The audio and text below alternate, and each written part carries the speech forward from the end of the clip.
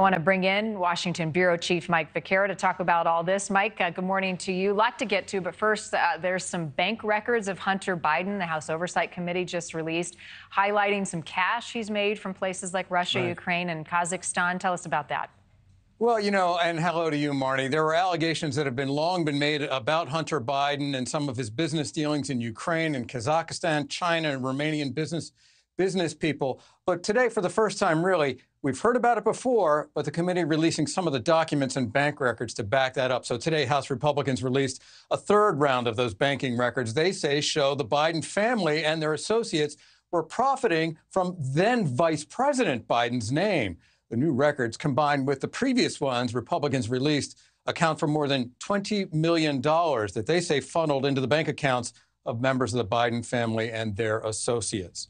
Uh, so, at the center of this latest release are documents. We just talked about this that purport to show a $3.5 million transfer from a Russian oligarch to the company run by Hunter Biden, that oligarch being the former First Lady of Moscow. Uh, her name is Yelena Baturina. Uh, and uh, that money going to Hunter Biden and his now disgraced partner, Devon Archer. Uh, that's some. It's been the subject of debate for years. Even uh, then, President Trump accused Biden of getting the money himself personally when they had a debate on the debate stage in 2020 during that campaign. There's still no proof of that.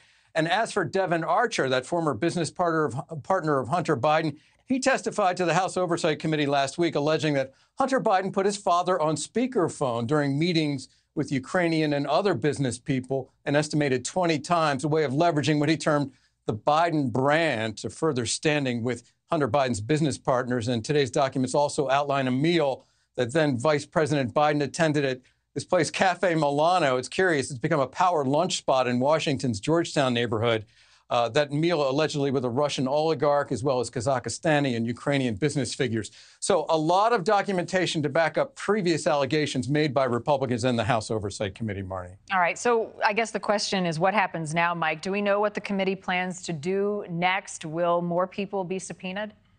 Oh, I, I think without a doubt, this, conti- this investigation is going to be continuing throughout the course of uh, this year and into next year, of course, an election year. I think it's, it's almost a no brainer. Uh, we should add the, the response from committee Democrats to today's release. They're slamming today's release, uh, staying in a, in a statement in part. Let's see if we have it here. This memo is more of the same. Another empty document dump that fails to show any evidence of wrongdoing by President Biden. Uh, Comer, he's the chairman of the Oversight Committee, the Republican, will again try to pass off old dismissed information as something groundbreaking in a desperate attempt to keep his investigation alive. So basically, this doesn't really move the move the ball down the field a great deal, although it does provide more ammunition to the president's opponents, tying him, trying to tie uh, President Biden uh, to Hunter Biden, his son, and some of those business dealings that he had with Ukrainians and other international business people. Uh, on the other tax issue I mentioned a moment ago, Mike, um, this one dealing with third party presidential candidate Dr. Cornel West, uh, he said he does owe more than $500,000 in taxes. He's not disputing that. Is this a distraction? How much will this matter? Well, I mean, we saw Jill Stein uh, walk away from the campaign. And one of the things that's interesting about that, Marni, is Jill Stein was the Green Party candidate back in 2020. Uh, uh, I'm sorry, back in 2016. Uh, many people believe, many scholars believe, having looked at the numbers, that she, in fact, uh, cost Hillary Clinton some of the Midwestern states, Michigan, Wisconsin, Pennsylvania, uh, and therefore the election in 2016.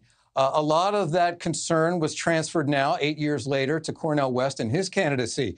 You know, whether it matters or not, whether it matters that Cornel West is on the record several times over the course of his long and in some quarters lauded career as saying we should tax the wealthy, uh, that the tax system is skewed in favor of the wealthy, coddles the wealthy, uh, and that in fact uh, uh, the, the lower classes, working classes, I should say, are, are, getting the short end of the stick. And here he is found to, it actually exceeds half a million dollars in back taxes. Whether this matters or not, whether this turmoil now within the Cornel West campaign is going to matter to the campaign, I mean, he's polling, uh, I guess, around 1% in most national polls.